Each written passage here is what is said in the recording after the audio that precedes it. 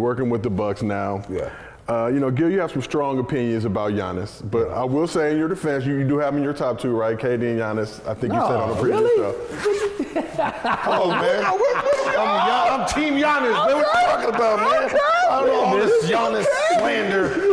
Crazy. We changed. I've We been a. Bucks fan from the beginning. Yeah, whoa, whoa. We changed. I see. This I've is what seen I the like video. to see. I've seen the oh, video. I know. I've seen the video. I didn't know people in Milwaukee got cable, Yeah, so right, right. you know I wasn't really, I wasn't really careful with my we, word. We just got it last like two months ago. We got it hooked up. But you know, you've been with the with the Bucks like five, six years. Eight now? years, bro. Damn. eight seasons. Yeah, we getting eight old. Yeah.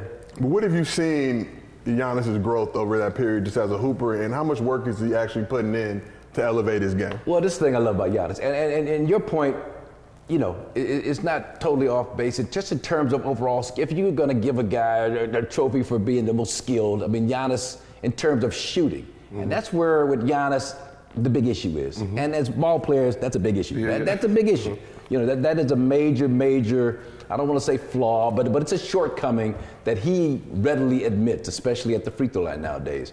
But for me, over these eight years, he was 19 when I first got there, about to turn 20 December 6th. And I thought that maybe he could eventually morph into a player who could give you a solid 17, 18 a game, 9, 10 rebounds at, at his size, 6'11, 7 feet. But the dude has got this work ethic, man, that, that and, and this drive to be great. He's a dude that was selling trinkets on the streets of Athens at 3 o'clock in the morning when he was 14, 15 years old. Uh, him and his family, it's, it's well documented, kind of what they went through, especially uh, Rise, the, the great movie about his life. And so he's got this, he's, he's on some different stuff, as we should say. He's on, on just different shit. You know, Giannis is. We right say now. shit, not stuff. So, Yeah, yeah. okay, we okay, curse on this show. Okay, okay, I didn't. I didn't Fubo. I- but, but he's on some different shit, man, and, and, and I've seen it up close and personal. His work ethic. I mean, he's a guy that'll drop 40 in the. Game. I've seen it. He dropped 40 in the game. Didn't feel good about his free throws.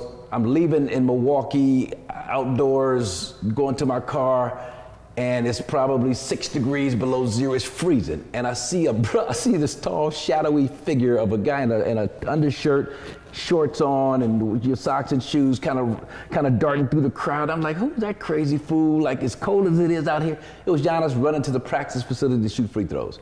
You know, without the ladder. You know, this is Giannis headed over there to work on his free throws. I've, I've seen him drop 40 and get on the team plane and, and, and have a film breakdown with, with uh, Sean Sweeney, our assistant at the time, on what he could have done better. And it's, and it's all genuine. It's not, it's, it's funny, I, I saw him when he was about 21, 22, and it was uh, New Year's Day. And we're in the uh, team uh, uh, cafeteria, team eating facility. It's not a cafeteria. It's, it's, it's, it's a restaurant, basically. A team, the team dining hall. And so I'm just like, so, yeah, Giannis, uh, what was your New Year's resolution? And he thought for a minute. He's like, hmm, to be the best version of myself. Like, who is this guy? you know, at 22, I'm trying to figure out like how, what time the club closed, you know, what, know, what's last call gonna be? I'm, you know, he's, throw, he's throwing out all that kind of stuff at 22 years old. So he's wise beyond his years. He's got this worth ethic, ethic that's off the hook. He's as genuine as it comes. We got off the team plane. I swear to God, uh, December 5th, we may have played somewhere. I forget where, but we flying back to Milwaukee that night. And so it's after midnight when we land, and it's actually December 6th, his birthday. And he's at the front of the plane with Thanasis and the other guys he plays cards with. And he's sitting on the top of, he's sitting on the edge of the seat, you know, just like, it's my birthday, it's my birthday, it's my birthday. And I went by, happy birthday, young fella. He's like, it's my birthday, it's my birthday, it's my birthday. You know, just, just, but just all excited at 27 years old. He's got this genuine excitement about life, man, that uh, it's really, it's really refreshing. But his work ethic is a thing that is, allowed him to look at 27. He's a two-time MVP. He's a Finals MVP. He's had a 50-point game in the Finals. He knocked down 17 out of 19 free throws in a, in a, in a, in a closeout game six against the Suns. At 27, and my thing is, if he if he never played a, a, a, a minute of basketball, he's first ballot Hall of Fame right now, just based on that alone, you know. And so, um, yes, he's he's and the thing about it, every year, and I've said this on the air, every year there's something he's got to work through, whether it's barreling over players with these offensive fouls a few years back, whether it's knocking down threes that, that, that he's having sh- troubles with, trying to shoot, you know, 10% from the three-point line. One year he started off like three for 30 something, uh, whether it's free throws like this year and the count and all that. It's like he's one of those guys that actually feeds off of that self-induced kind of pressure. You know, you know, you know guys like that. And Muhammad Ali was was an athlete like that. Not to put Giannis on that level, but would predict the rounds and talk all the trash. But but those are good, the guys that have that that kind of um, drive that know that if they put the pressure on themselves to to perform, that they're gonna find that will to make it happen. And Giannis is one of those dudes, man. He's just one of those guys. So you talked about the uh, the 10 second free throw violations. We've seen Giannis get dinged a few times now uh, against the Warriors, Yeah. uh, Lakers, uh, Westbrook doing the count all out. So I mean, just want to ask you, Gil, like, do you feel like you know who's gonna win that game of chicken, Giannis or the rule book, or does he need to change? Did they do that with Carmelo? That was a thing with Carmelo Yes. one year where the whole crowd was counting, and you know, so it's it's it's going to be more of a mental thing where he he has to have his own count in his head. Because what's going to happen is eventually the crowd's going to start getting involved, and they're going to start doing that count on them, and it kind of it will kind of mess them up a little bit, Yeah. but it, it all depends on the ref. you know what I mean? And he and I and I clocked it. The, the Acosta, I forgot the ref's name that called it on him a couple of times in the game against the Warriors. But but he was 11. He was 11. And, you know, I thought it was kind of quick, and then I, I actually timed it. Uh, just uh, re- rewound the tape and timed it. But the, the the ironic part is that when he played uh, the World Games or Eurobasket, whatever it was this summer that he played, Giannis, they've got a rule that you've got to shoot the ball within five seconds after it's handed to you Okay. you know, an international rule or whatever. Giannis shot 78.6% Okay. with that, you know, under that rule. So he's Yeah, I, I would ask what was the percentage in. It was higher. Yeah, yeah, right? he's 78, he's 78.79%. He's not, he's not thinking as much. Yeah, yeah, yeah. Just give me the ball. Now I got to shoot. So my thing is like, and I think uh, Stan Van Gundy mentioned something about it the other night. Like, hey, just you know, just take a couple of dribbles and shoot it. And it's not, it's not like he's ninety percent with that routine anyway. And so um, I think you'll see him make the adjustment. He works with uh, Josh Oppenheimer.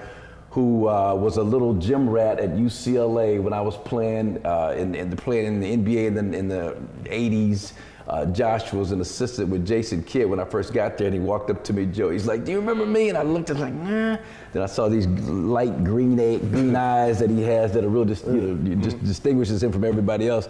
I'm like, "Josh?" He was like, "Yeah, yeah." So, but he works with Giannis. He's a, he's a shooting guy, and they do a lot of creative stuff. I mean, Giannis, they shoot at different baskets in the training facility at the end of practice, just so he didn't get comfortable at one hoop, and you know, so he's a, and Giannis has embraced this challenge. So like, look, I know I need to work on my free throws. I know I need to make them in, in, in the clutch, and I'm, I'm, I'm, I'm, I'm, I'm going to do it. I'm going to make it happen. And, you know, we saw it against Phoenix. You know, he struggled. They started counting in that series. It was in his head. He was missing some clutch situations. All of a sudden, game six, he's 17 for 19. He, he's had a couple of games, maybe that year or last year, where he's 17 for 17. He's 14 for 14. You know, he's 16 for 16. I mean, so he's, uh, it's in there. My thing is that if it's in there, if I see it in there, I know that there's the opportunity to get it to come out consistently. He should do more of his practice in, inside the arenas.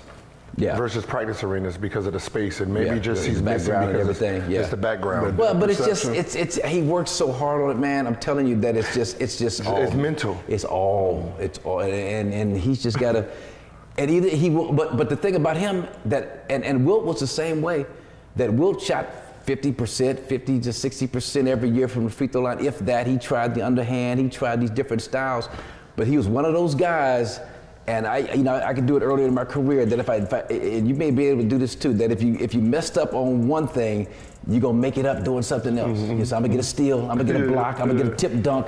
You know, if, I, if I'm not hitting free throws, I'm gonna go in here and get me a couple. I'm gonna dunk on somebody backwards or do something just for my own type of, uh, of, of, of, of rebuilding up my own confidence more than anything else.